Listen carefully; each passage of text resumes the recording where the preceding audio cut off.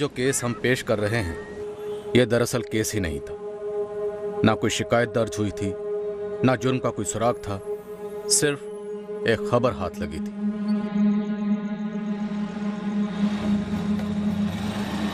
एक ऐसी खबर जो हम तक काफ़ी अजीब और गरीब रास्ते से आई थी।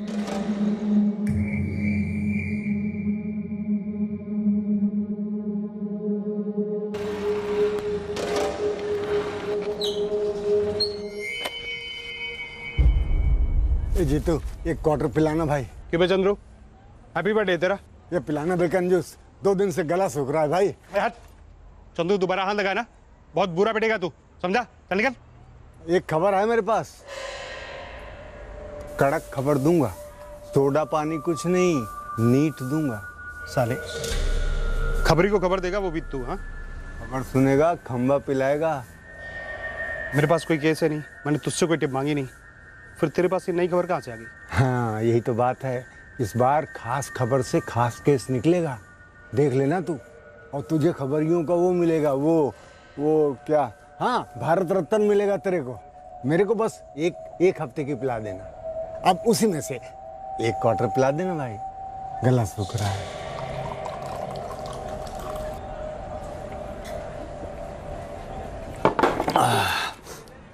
चंद्रू खबर। जीतू आज तारीख क्या है भाई? पंद्रह जून 2017 गुरुवार। आगे बोल। 2015 में दिवाली कौन सी तारीख को पड़ी थी? याद है? अब जो तुझे पड़ेगी ना सारी ज़िंदगी याद रखे। हर तरफ़ फटाके चल रहे थे। 2015 दिवाली का टाइम था। और क्या हुआ 2015 की दिवाली में? अरुणापुरम स्टेशन मालूम तेरे को? अबे आगे बोल बेवड़े। अरुणापुरम स्टेशन से थोड़ा आगे। नहीं, पीछे। नहीं, शायद आगे। हाँ याद आया याद आया। स्टेशन से थोड़ा आगे, फाटक से पहले। मैं पूरा खबरा डाउन था। बोरी बिछाई और लेट गया।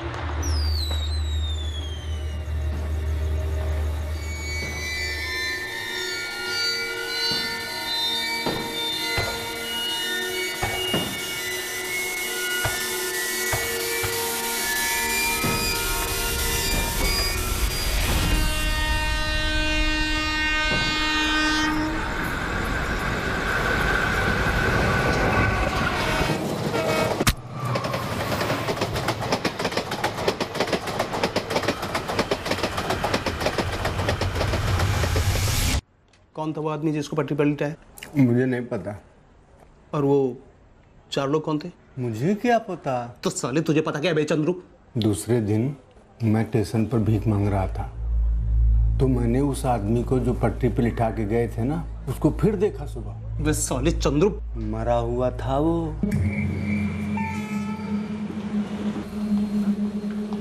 ये अम्मा अम्मा भूखे को खाना खे अम्मा दो दिन से कुछ नहीं खाया अम्मा।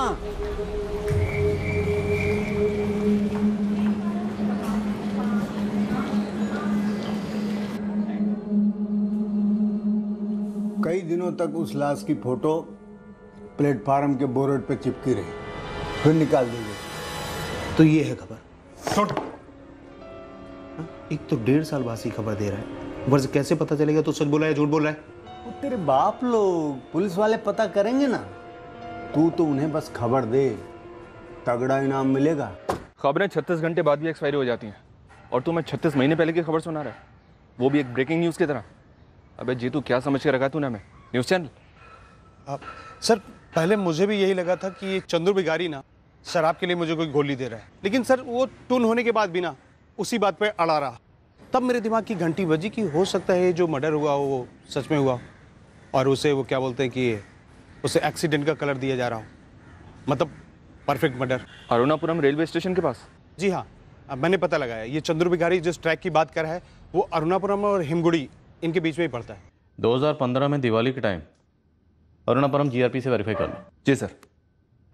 सर हो सकता है बॉडी अभी तक क्लेम भी हो गई हो। उस भिखारी का कहना है कि उसने ट्रैक पर लटाते हुए चार लोगों को देखा। तो मर्डर रूल आउट नहीं कर सकते। अब देखो एक शराबी की बातों का कितना भरोसा कर सकते हैं? वो भी है सर। कहानी पूरी तरह से मनगणन भी हो सकती है। या फिर परफेक्ट क्राइम की कहानी हो सकती है? क्या पता? इतनी वार्निंग और इतने फाइन के बावजूद कितने लोग डेली इस पटरी को क्रॉस करते हैं? और इस ट्रैक में एक्सीडेंट रेट्स हाई हैं। लगभग हर हफ़्ते यहाँ पर कोई ना कोई एक्सीडेंट केस होता ही है। मैं फिर भी दिवाली 2015 के आसपास रेलवे एक्सीडेंट्स की केसेस की फ़ाइल को लाइन अप करने की कोशिश करता हूँ। दरअसल मैं उस वक्त यहाँ पर था नहीं। इस पोस्टिंग में आए हुए मुझे सिर्फ़ आठ महीने हुए। फ़ाइल रूम मुझे चेक करना पड़ेगा। हम सिर्फ़ इसलिए चेक करवा रहे हैं क्योंकि खबरी ने हमें टिप दी है कि मर्डर हुआ हो सकता है। अब ये भी हो सकता है कि ऐसा कुछ भी ना हो।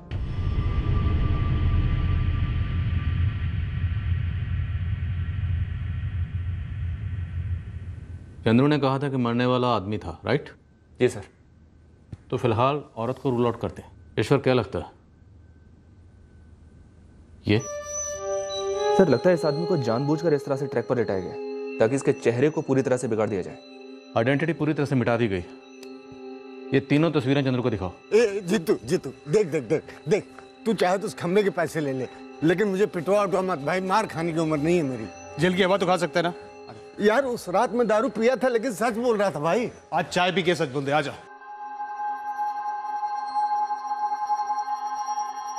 ये ये था साहब। मेरे को अच्छी तरह याद है। कपड़े भी यही थे साहब।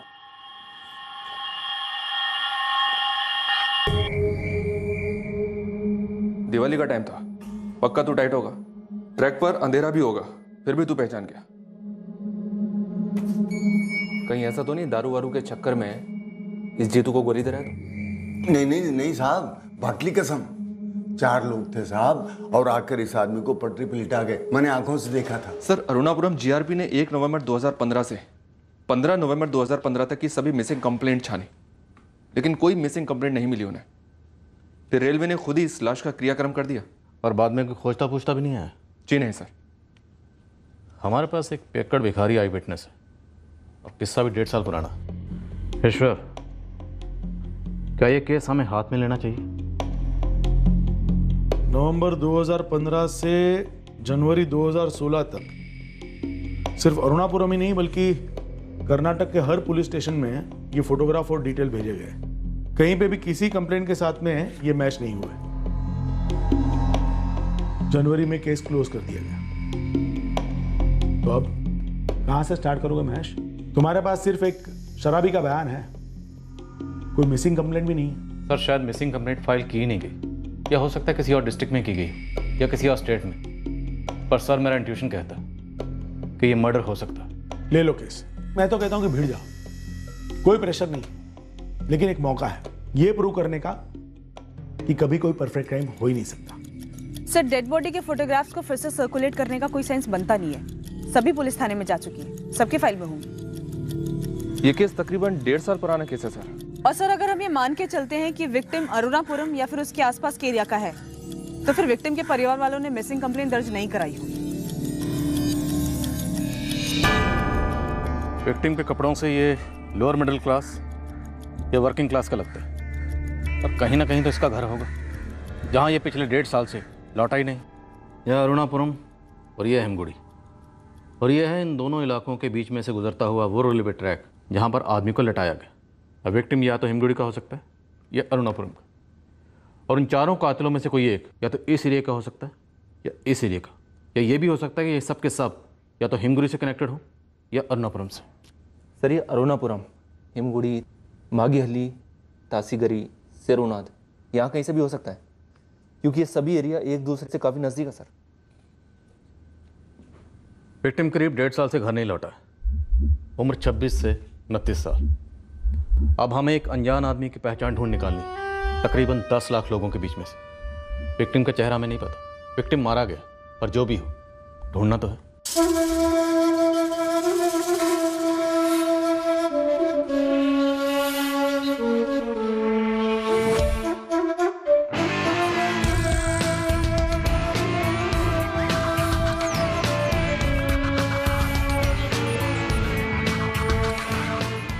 दस नवंबर 2015 की सुबह, उसका सर कुचला हुआ मिला था अरुणापुरम से हेमगुड़ी के बीच, रेलवे ट्रैक पर। उम्र 26 से उनतीस साल के बीच में होगी, और गरीब घर से था। अब तुम लोग ये पता करो कि पिछले डेढ़ साल के अंदर घर वापस कौन नहीं लौटा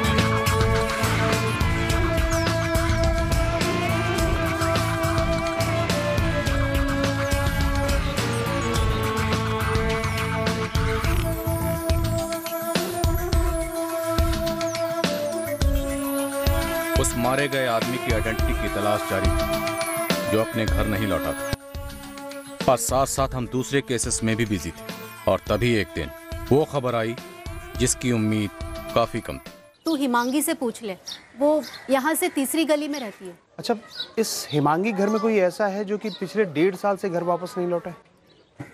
हाँ विजय विजय कोटियान उसका पति।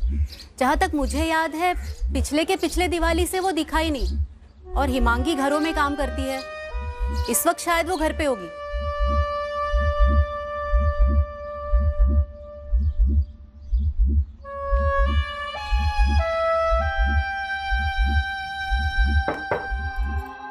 कौन? आप हिमांगी कोटियान। हाँ मैं ही हूँ। आपके पति विजय कोटियान। 2015 की दीपावली के टाइम से घर नहीं लौटे। हाँ हाँ। किधर है वो? आप कौन? विजय ने भेजा है? जी नहीं मैं पुलिस की तरफ़ से हूँ। पुलिस? विजय जेल में है क्या? जी नहीं मेरे पास एक फ़ोटो है पर उसका चेहरा नहीं है। चेहरा? चेहरा नहीं है मतलब?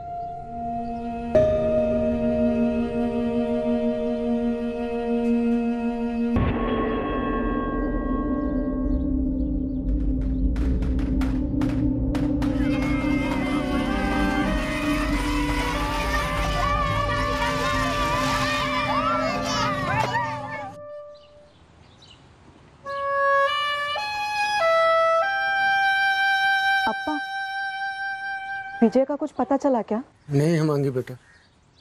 पार्वती और मैं विजय को ढूंढ ढूंढ के थक गए। क्या विजय ने कुछ बताया था हिमांगी? कहीं बाहर जाने वाला था? नहीं अम्मा। तीन दिन पहले रोज की तरह पीकर आया था। उसके बाद बोला कुछ ज़रूरी काम है। तो मैं भी मानसी को सुलाकर सो गई। मैं उसकी कंस्ट्रक्शन साइट पर गया था। सबसे मिला वहाँ। सुपरवाइजर कामगार सब यही बोल रहे थे कि नौ तारीख के बाद इधर आया ही नहीं। साहब पूरे एक हफ़्ते के बाद तकदीर चमकी है। वो फ़ोटो वाला आदमी मिल गया। क्या? मिल गया? सर विजय कोटिया नाम था उसका। यही मागी हल्ली का रहने वाला था। उसकी पत्नी हिमांगी अपनी बेटी मानसी को छोड़ने अपने सास ससुर के घर गई है। मैं उसे अपने साथ में लेकर आ रहा हूँ। सर कुछ और अजीब गरीब सी चीज़ें पता चली मैं आकर वहीं पर बताता हूँ आपको।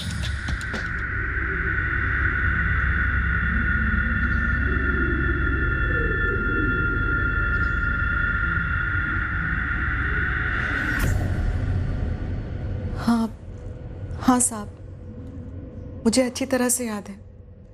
विजय ने उस रात को यही कपड़े पहने थे 9 नवंबर को। विजय, कहाँ जा रहे हो? पी कर आए हो? और कितना पियोगे? और और जा कहाँ रहे हो? मैं किसी का खून करने जा रहा हूँ। ठीक है? और तूने ज़्यादा टेंटे की नहीं मांगी? तेरे को भी काट दूँगा मैं। समझी? कहा जा रहे हो? विजय पीकर मारता था। बिना पिए भी मारता था। बहुत गुस्सा वाला था साहब। उस रात को भी गुस्से में ही निकला था घर से। ये जो विजय ने घर से जाते वक्त किसी को जान से मारने की बात कही थी ये यूँ ही नशे में कही थी या सच में उसकी किसी से कोई दुश्मनी थी? पता नहीं। कभी कभी तो वो मुझे भी मारने की धमकी देता था। हमारे एक सोर्स ने चार लोगों को देखा था। तुम्हारे पति विजय को पटरी पर लिटाते हुए। क्या तुम बता सकती हो कि वो लोग कौन हो सकते हैं? मुझे नहीं मालूम। हिमांगी तुम कह रही थी कि तुमने तुम्हारे सास और ससुर सबने विजय को काफ़ी ढूंढा। तो फिर पुलिस कंप्लेन क्यों नहीं कराई? आदत थी उसकी। झगड़ा करके जाएगा फिर दो चार दिन तक वापस नहीं आएगा माँ बाप के घर पे ही रुक जाएगा और उसके बाद चुपचाप कुछ दिन में घर लौट आएगा। हमें लगा इस बार भी पर इस बार डेढ़ साल गुजर गए। जीतू तू कुछ बताने वाला था ना? जी साहब इनके घर से पहले भी एक आदमी गायब हुआ था। और कौन गायब हुआ था हिमांगी? मैं उनसे कभी मिली नहीं। उनसे? किन से? मेरा जेठ विजय का बड़ा भाई नीलेश अन्ना। ये नीलेश कोटिन कब से गायब है? मेरी शादी के पहले से साहब। कब हुई थी तुम्हारी शादी? 2011 में। लेकिन नीलेश अन्ना तो 2010 से ही गायब थे। विजय ने ही बताया था उनके बारे में। साहब इस विजय के माँ बाप ज़रूर कुछ बता सकते हैं नीलेश के बारे में। हिमांगी विजय के पास मोबाइल तो रहा होगा ना? नंबर याद है तुम्हें उसका? नंबर तो याद है पर नंबर सेवा में नहीं है ऐसा बोलता है। कोई बात नहीं। इस पर लिख दो। ये विजय कहाँ काम करता था हिमांगी मजदूर था। वो बिल्डिंग बनती है ना? वहीं काम करता था। जिस बिल्डिंग कंस्ट्रक्शन साइट पे काम करता था विजय वहाँ उसके कोई दोस्त तो होंगे ही। विजय के दो दोस्तों को मैं अच्छी तरह से जानती हूँ। एक ओमकार प्रसाद और रतन राव। वो भी विजय के साथ मजदूरी करते थे। नंबर। ये ओमकार प्रसाद और रतन राव ये दोनों कहाँ मिलेंगे? ओमकार तो हमारे मोहल्ले में ही रहता है साहब। जब विजय खोया था तो उसने ही हमारी मदद की थी।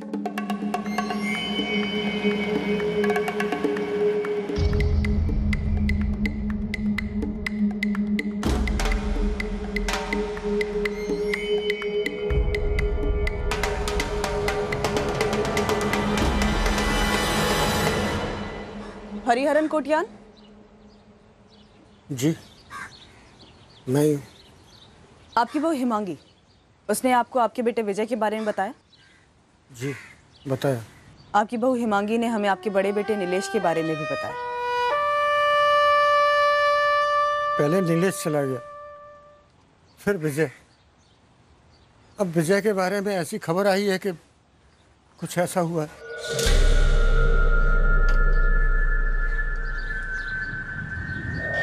लता दीदी ये ओमकार किधर है? पता नहीं मांगी सुबह से ही ताला लगा है। मैं साइट पर भी होकर आई पर वहाँ बोले काम पर नहीं आया। गाँव वाँव गया होगा। सुब्रा अन्ना से बात करके देखो। ये सुब्रेना कौन है?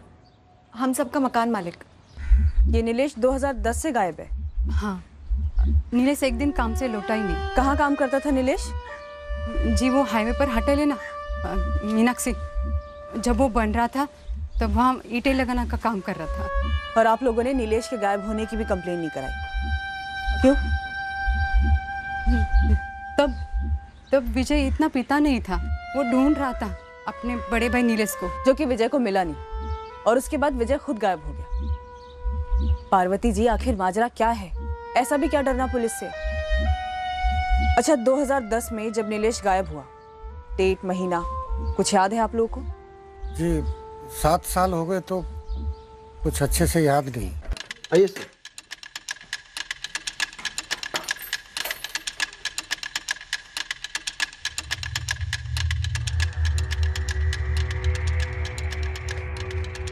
सर लगता है घर बंद करके चला गया ओमकार। फ़ोन ट्राई कर रहा हूँ लेकिन स्विच ऑफ़ आ रहा है। ओमकार ऐसे कैसे निकल सकते हैं?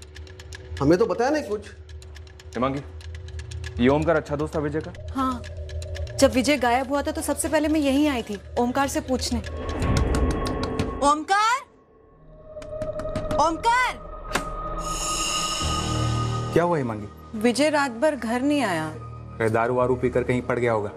एक काम कर तू रतन से पूछ ले। मिला मुझे रतन रास्ते में उसे भी कुछ पता नहीं है। अरे रतन विजय को देखा क्या कहीं पे तुमने? नहीं तो? क्यों क्या हुआ? बात क्या है मांगी? रात भर घर नहीं आया विजय। मुझे लगा तुमने कहीं देखा होगा। नहीं मुझे तो नहीं पता। और विजय होकर कहाँ पर होगा? पीकर पड़ा होगा कहीं पर। तू ओमकार से जाके पूछ मैं इधर देखता हूँ। हिमांगी क्या तुम आजकल में ओमकार से मिली थी? क्या उसे पता है कि विजय का मर्डर हुआ हो सकता है? हम लोग तहकीकात कर रहे हैं। नहीं साहब मेरी तो महीनों से बात तक नहीं हुई ओमकार से। ये रतन कहाँ रहता है? मालूम नहीं। सुबरा जी आप जानते हैं रतन को? हाँ हाँ अच्छी तरह। रतन भी यही रहता था ओमकार के साथ। रहता था मतलब? अब कहाँ रहता है वो? अब पता नहीं साहब 2015 के आखिर तक दोनों यहीं रहते थे। एग्रीमेंट दिखाई लीजिए।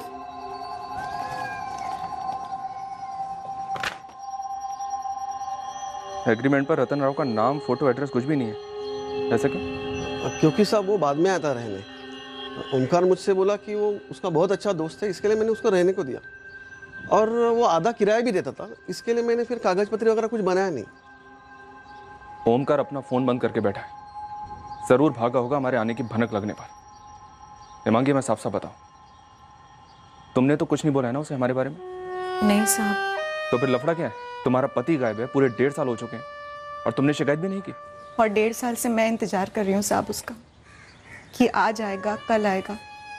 मेरी बेटी को उसका बाप मिल जाएगा। जबकि जानवर की तरह पेश आता था विजय मुझसे। और अब लफड़ा पूछ रहे लफड़ा तो हो गया साहब। अब मेरा पति कभी वापस नहीं आएगा। मेरी बेटी को उसका बाप कभी नहीं मिले ये केस अजीबो गरीब तरीके से शुरू होता। है और अब और भी अजीब होता जा रहा।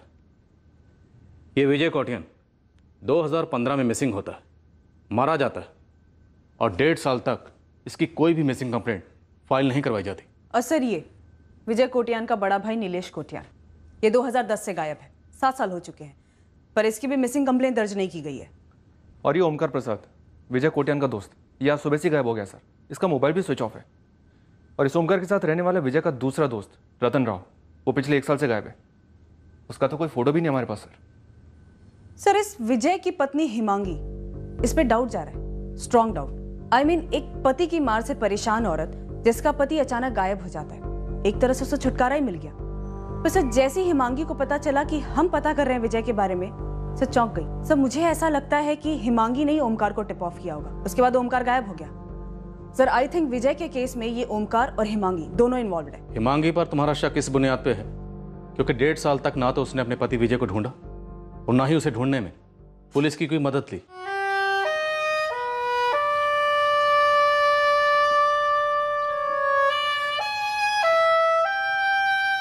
विजय कोटिन के मिसिंग होने में हम उसकी पत्नी हिमांगी पर शक कर सकते हैं। लेकिन फिर नीलेश के गायब होने में? सर ये विजय हिमांगी की शादी 2011 में हुई थी। पर ये नीलेश तो 2010 से ही गायब है। सर चंद्रू भिखारी का कहना है कि वो चार लोग थे जिन्होंने विजय को ट्रैक पर लेटाया था।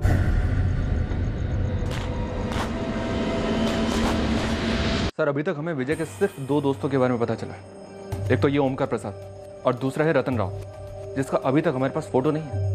और सर इन चार लोगों में एक इस ओमकार के होने के पूरे चांसेस हैं। तो जैसे इसे पता चला कि हमें पता चल चुका है तुरंत फरार हो गया। इस विजय कोटिन के फ़ोन रिकॉर्ड्स निकलवा हो सकता है उसमें रतन राव का नंबर नज़र आ जाए। और सर मैं विजय कोटियान के बड़े भाई नीलेश कोटियान के केस को खंगालती हूँ। हाईवे के पास मीनाक्षी होटल के कंस्ट्रक्शन पे ये काम कर रहा था। जो बिल्डिंग तो कब की पूरी हो चुकी है सर? सर आई थिंक 2010 के कॉन्ट्रैक्टर लिस्ट में इस नीलेश का नाम ज़रूर होना चाहिए। और मुझे लगता है कि हमें 2010 के जितने भी रेलवे ट्रैक पर एक्सीडेंट केसेस हैं सब खंगालने चाहिए। हो सकता है 2015 में जो विजय के साथ हुआ, वही 2010 में नीलेश के साथ भी हुआ। इस अजीबो गरीब केस में कुछ भी मुमकिन है ये केस बड़ा बनता जा रहा है। हो सकता है भिखारी चंद्रू की छोटी सी टीम किसी बड़े कांड का पिटारा खोल दे।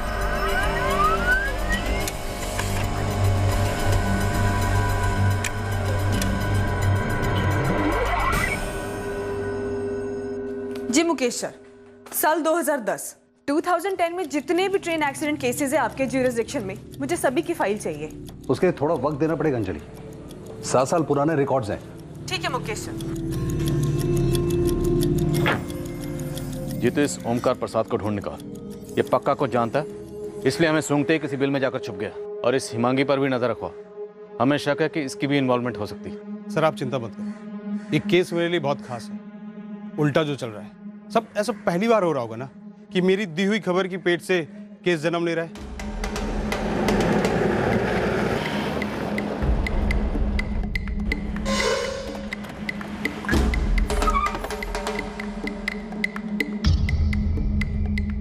दो नंबर मैसेज कर रहा हूँ। ये दोनों नंबर स्विच ऑफ़ हैं, पर दोनों के रिकॉर्ड्स चाहिए। कंज्यूमर फॉर्म से लेकर सपोर्टिंग डॉक्यूमेंट्स तक, पूरी फ़ाइल हाँ हाँ 2015 के ही रिकॉर्ड्स मांग रहा हूँ। ये तो ओमकार है। ये मेरे यहाँ का ही कारीगर है। लेकिन दो दिन से काम पे नहीं आया। रामडे गन्ना ये ओमकार ना मर्डर केस में शामिल हो सकता है। 2015 का केस है। तू पद्माकर से मिल। वो कई सालों से यहाँ अलग अलग कंस्ट्रक्शन साइट पे काम कर रहा है। शायद वो जानता होगा कि ये ओमकार कहाँ हो सकता है। और वो पक्का रतन को भी जानता होगा। ये पद्माकर कहाँ मिलेगा? वो तो यहीं ऊपर दूसरे माले पे काम कर रहा है। होटल के ओनर से ही मालूम होगा कि होटल कौन सी कंस्ट्रक्शन कंपनी ने बनाया था। और वहाँ से आपको लेबर सप्लायर का कॉन्टैक्ट मिलेगा। वैसे सात साल पहले की बात कर रही हैं आप 2010 की। जी पराग जी 2010 उस वक्त साइट पर काम कर रहे नीलेश कोटियान को ढूंढ रहे हैं हम। तो सात साल पीछे तो जाना ही पड़ेगा। आप एक बार अपने होटल के ओनर से बात कीजिए ना प्लीज़ मुझे दो दिन का टाइम दीजिए मैडम। प्लीज़ शाम तक कर दीजिए। वैसे हम नीलेश कोटियान के छोटे भाई विजय कोटियान के केस में डेढ़ साल लेट है। और नीलेश कोटियान के केस में तो सात साल लेट है।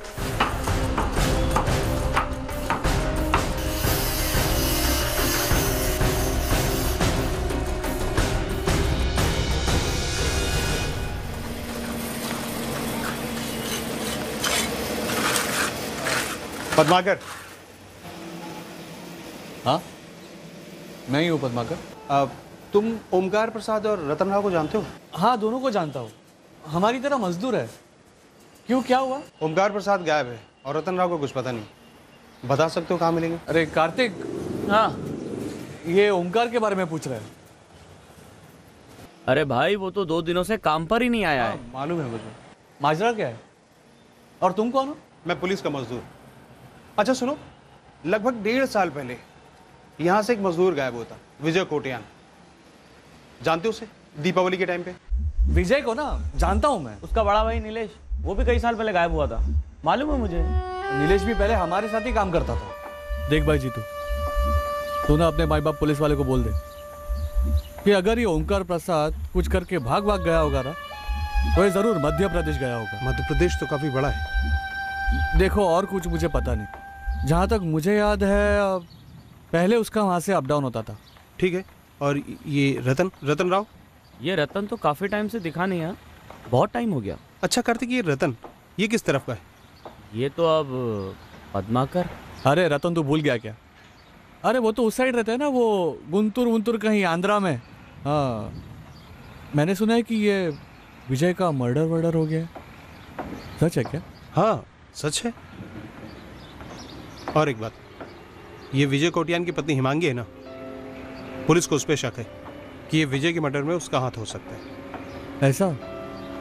क्या माजरा क्या है? एक गवाह है जिसने 2015 को दीपावली की रात में चार आदमी को देखा था अपने इस विजय कोटियान को ट्रेन की पटरी पर लिटाते हुए। उसमें विजय के दो दोस्तों को हमने पहचान लिया है एक ओमकार प्रसाद और दूसरा रतन राव। ये बाकी दो कौन हैं तुम लोग बता सकते हो? हम क्या बताएँ? हमें तो वैसे ही ये सुन के डर लग रहा है कि अपने विजय का मर्डर वर्डर हो गया है। और भाई जीतू तू ये जो हिमांगी उससे दूर ही रहना। बड़ी चालाक औरत है वो। चालाक से तेरा क्या मतलब है कार्तिक? देख जब से विजय गायब हुआ है ना तब से मोहल्ले से लेकर साइड तक सब लोग यही कह रहे हैं कि हिमांगी जो थी वो विजय से छुटकारा चाहती थी और बस इसलिए उसने अपने पति को रास्ते से साफ़ कर दिया।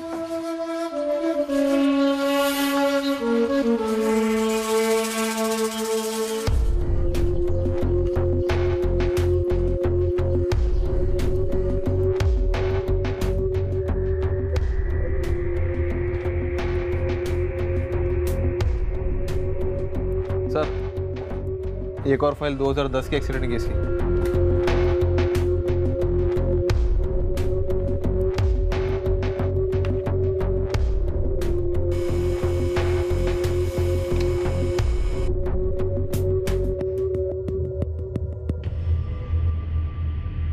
नौ नवंबर 2015 की शाम को विजय कोटिन के फ़ोन पर आखिरी कॉल इस रतन राव का और उसके बाद से रतन का फ़ोन स्विच ऑफ़ हुआ था। वैसे इन दोनों दोस्तों के बीच काफ़ी बातचीत होती थी सर। ओमकार के साथ भी। विजय कोटिन के कत्ल के केस में अभी ओमकार और रतन दोनों हमारे प्राइमरी लिंक्स इसमें कोई शक नहीं। ओमकार अंडरग्राउंड है सर। हिमांगी रडार पर है। अब बस इस रतन का पता चल जाए तो शायद इस केस में हम नेक्स्ट लेवल पर पहुँच सकते हैं। और विजय के बड़े भाई नीलेश उसके केस में क्या प्रोग्रेस है अरुणापुरम से 2010 के सारे रेलवे एक्सीडेंट केसेस की फाइल्स बहुत जल्दी आ जाएँगी सर। अंजलि मीनाक्षी होटल के कंस्ट्रक्शन सुपरवाइजर को ट्रैक कर रही है जहाँ ये नीलेश सात साल पहले मजदूरी करता था।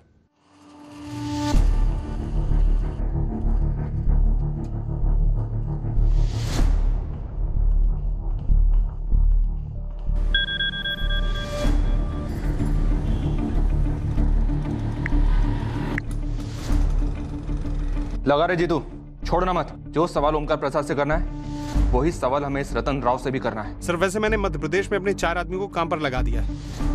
जो अलग अलग जगहों पर इस ओमकार प्रसाद को ढूंढ रहे हैं। और गुंटूर साइड में एक टीम ऑन कर दी है इस रतन राव के लिए।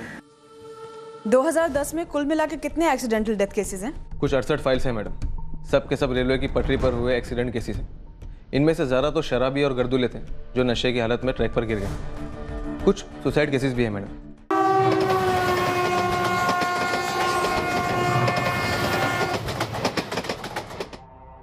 हर साल हज़ारों की तादाद में लोग रेलवे ट्रैक्स पर मारे जाते हैं। इनमें से ज़्यादातर केसेस अननेचुरल एक्सीडेंटल डेथ्स की फाइल्स में क्लासिफाई होते हैं। कई लाशें लावारिस बनकर पड़ी रहती हैं, जिनका रेलवे द्वारा क्रियाक्रम कर दिया जाता है। कभी कभार, जैसे कि इस केस में, मर्डर को एक्सीडेंट का रंग देकर उस संगीन जुर्म को एक्सीडेंट फाइल्स में छुपा दिया जाता है। गुजरते वक्त के साथ साथ ये साफ़ होता गया कि विजय कोटियन का case clear cut murder case था। और 2010 की फाइलों में से भी। हमें विजय कोटियन के केस से काफ़ी मिलता जुलता केस मिलने वाला था। और उसमें भी शायद मर्डर को एक्सीडेंट का लिबास पहना दिया गया था। और ये केस था विजय के बड़े भाई नीलेश कोटियान का। सर 2010 के 68 केसेस में से ये केस ऐसा है जिस पर डाउट जा रहा है। ये सितंबर 2010 का है। और सर इस केस में भी बॉडी ज्यों की त्यों है। सिर्फ़ सर ट्रेन के नीचे आके कुचल गया है। बिल्कुल विजय कोटियान के केस की तरह।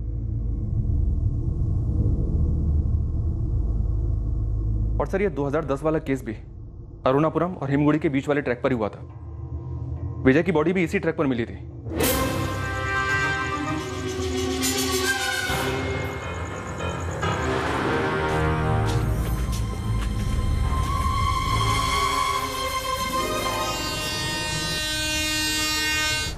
अब शायद हम एक नहीं दो दो मर्डर केसेस का सामना कर रहे हैं। नीलेश कोटियान और विजय कोटियान इन दोनों भाइयों के, पाँच साल की गैप हो सकता है दोनों का कातिल सेम हो।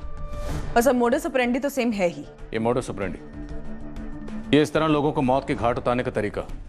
शायद उन चार हथियारों ने कुछ और लोगों पे भी अपनाया होगा। सर मैं नीलेश और विजय के पेरेंट्स को नीलेश की फ़ोटो दिखाता हूँ। हालाँकि ऐसी हालत में उनके लिए पहचान पाना थोड़ा मुश्किल होगा। फिर भी ट्राई करता हूँ। शायद नीलेश के कपड़ों से पहचान जाए। दिमाग पे जरा सा ज़ोर देकर याद करने की कोशिश कीजिए कि आपका बेटा नीलेश सितंबर के महीने में गायब हुआ था 2010 में। वो जब आखिरी बार घर से बाहर निकला था तो क्या वो इसी रंग के कपड़े पहनकर निकला था?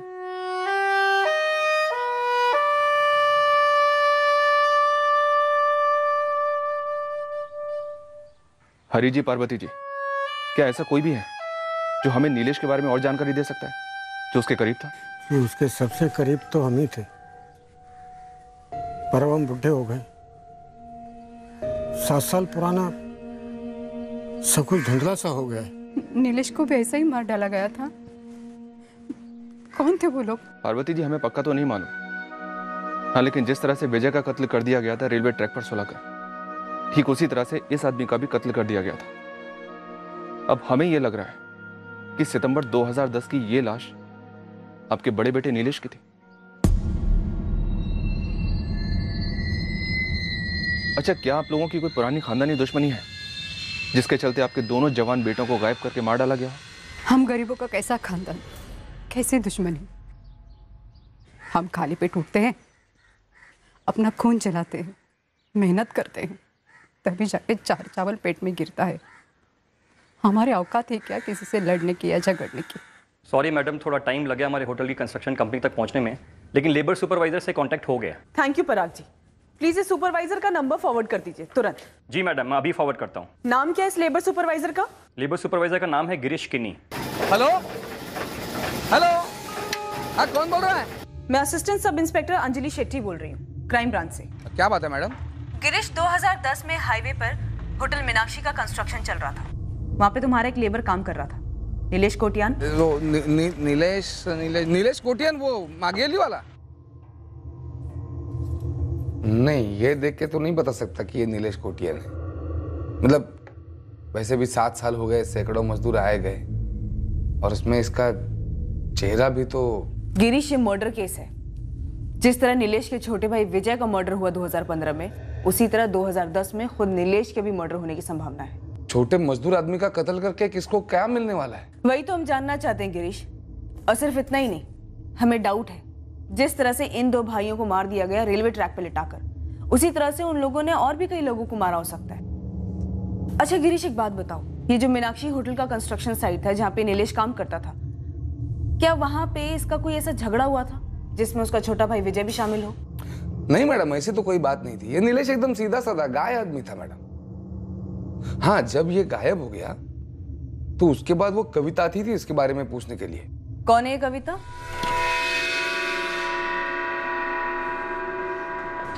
गिरीश अन्ना हाँ। नीलेश आज भी नहीं आया काम पर। तो? मैं क्या करूँ? दो दिन हो गए हैं। आपको बता के गया तो छुट्टी क्यों ले रहे हैं? मेरे को बोला होता तो सुबह तुमने जब पूछा तभी बता देता ना। पांचवी बार पूछने से अलग जवाब दूँगा मैं?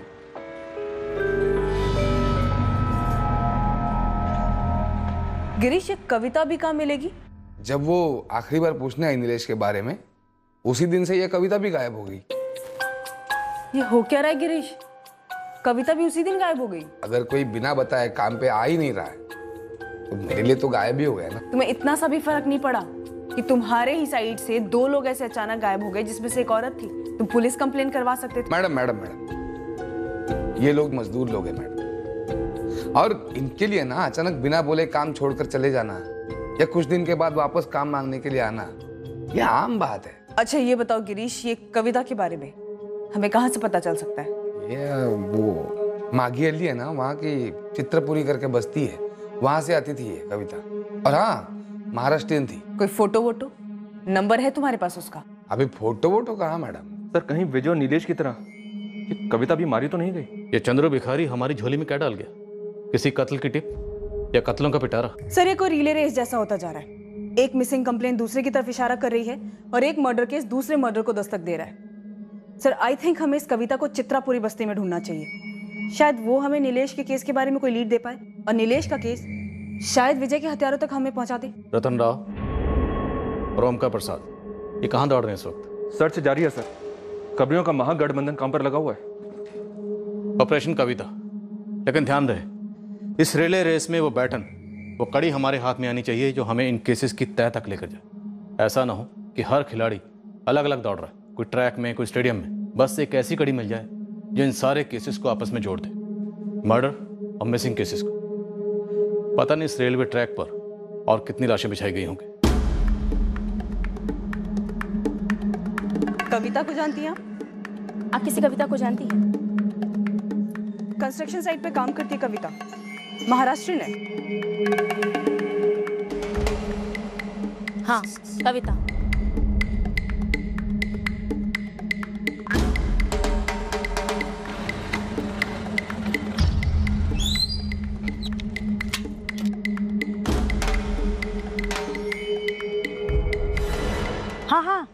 अच्छी तरह से जानती हूँ कविता को।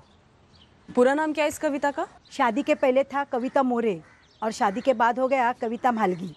अच्छा तो उसका पति भी है। कहाँ रहता है वो? आपको मालूम नहीं? अरे 2009 में उसका पति अचानक गायब हो गया। गायब हो गया?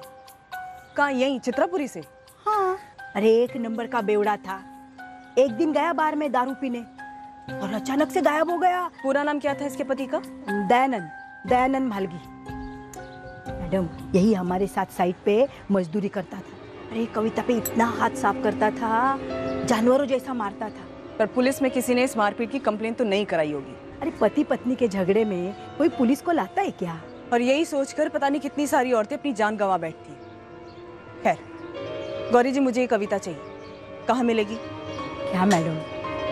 अरे उसका पति दयानंद गायब होने के बाद कुछ एक साल बाद कविता भी यहाँ से चली गई। कोई तो होगा ऐसा बस्ती में जिसके साथ उसने वास्ता रखा। हाँ हाँ कविता की एक खास दोस्त थी नफीसा। नफीसा? वो है या वो भी गायब? अरे नहीं नहीं मैडम अभी तक तो है। मतलब यहाँ चित्रपुरी में नहीं यही बाजू में मागी हल्ली है ना वो बस्ती में रहती है। अरे पिछले हफ़्ते में गई थी ना बाज़ार में वहाँ दिखी थी मेरे को। आपके पास नंबर है उसका? नंबर नहीं। आज के बाद आप रोज मागी हली जाएँगे। और वहाँ जाने के बाद आप नफीसा का इंतज़ार करेंगे। जैसे ही आपको नफीसा दिखती है आप तुरंत उससे हमारा कांटेक्ट करेंगे ठीक है मैडम।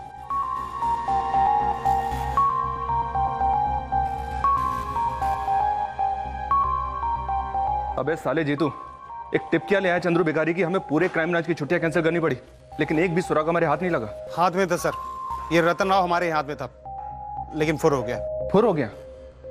मतलब कहाँ से फुर हो दो महीने पहले से ये आर के मार्ग पुलिस थाने में बंद था ये रतन राव। परसों जमानत हुई है और निकल गया यहाँ से। चार्ज क्या लगा था इस रतन पर? फुल मर्डर का। मतलब ये हिस्ट्री शीटर है? ये साला जेल में बैठा था और हम लोग इसे पागलों की तरह बाहर ढूंढ रहे थे। सर अभी डबल शॉक के लिए रेडी हो जाओ। इस रतन राव के साथ में दूसरा बंदा था ना ओमकार प्रसाद। वो भी हिस्ट्री शीटर है क्या?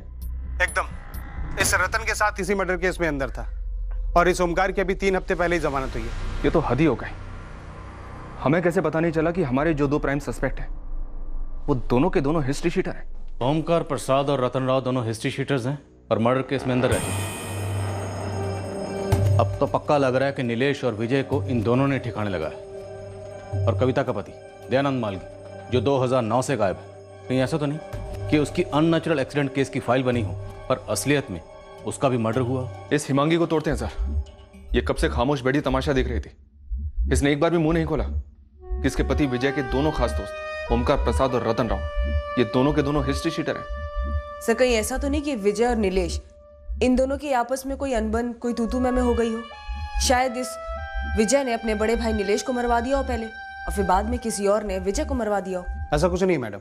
मैंने सबसे पहले विजय और नीलेश इन दोनों की दुश्मनी का ट्रैक सबसे पहले खंगाला था। तेरा अच्छी तरह से ना और अच्छे से होना चाहिए जीतू। ओमकार और रतन इन दोनों के केस में भी तूने अच्छी तरह से टटोला था। मिस्टेक हो गई मैडम काम बिल्कुल भी पक्का नहीं हुआ जीतू। काम पक्का होना चाहिए इस बार। इंसान हो साहब गलती हो जाती। है लेकिन ये गलती कैसे होगी समझ में नहीं आ रहा।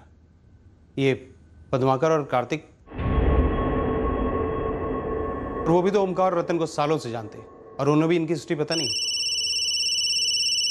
शिव सर मैडम आपकी फ्रेंड गौरी ने बोला मुझे आपको फ़ोन करने को। तुम नफीसा बोल रही हो? जी मैडम नफीसा शेख है मेरा नाम। कविता मलगी उर्फ़ कविता मोरे को ढूंढ रहे हैं हम। तुम्हारी दोस्त हुआ करती थी ना? कविता तो अभी भी दोस्त है मेरी। रहती कहाँ है कविता? सोलापुर में। सोलापुर में? वहीं की तो है वो। जब उसका शोहर दयानंद गायब हुआ फिर नीलेश भी। तो कविता लौट गई सोलापुर। कविता को बोलूँ क्या आपको फ़ोन करने के लिए? नहीं नहीं नफीसा। तुम एक काम करो फ़िलहाल तुम मुझे कविता का फ़ोन नंबर दे दो। पर बात क्या है? तुम यहाँ क्राइम ब्रांच में आकर मुझसे मिलो उसके बाद मैं तुम्हें बताती हूँ। पर पहले तुम मुझे कविता का फ़ोन नंबर दे दो। पता भी है उसके घर का। फ़ोन करने की तो सोचना भी मत इस कविता को। एक टीम लो और सीधा सोलापुर पहुंचो इसके एड्रेस पर और उठा लो इस कविता को। राइट सर सर मैं आर के मार्ग पुलिस थाना से बात करता हूँ। ये ओमकार और रतन जिस मर्डर केस में अंदर हुए थे उस केस को स्टडी करता हूँ। हो सकता है इन दोनों के बारे में कोई लीड मिले। सारे केसेस को अपनी समझ और पकड़ में रखना होगा। और जो सब कुछ जानकर भी अनजान बने बैठे थे उनकी तो बैंड बजानी।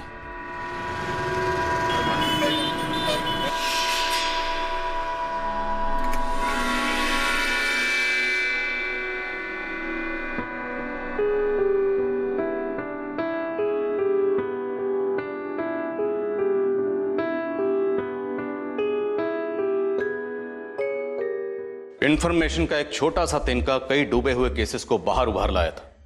हमारी तहकीकात की नैया को आगे बढ़ा पाया था। पर किनारा अभी बहुत दूर था। हमें एक से एक पेचीदा बवंडरों का सामना करना था। सोलापुर पहुँचते पहुँचते ये सवाल पूरी टीम के जहन में डुबकियाँ लगा रहा था। क्या हम कविता तक पहुँच पाएँगे या वो भी गायब हो जाएगी? 2017 में हम पिछले कई सालों के कई केसेस को अंजाम देने जा रहे थे। कल हम पेश करेंगे इस केस का दूसरा और शेष भाग। जय Hind. For more updates, subscribe to our channel, click the show links and enjoy watching the videos.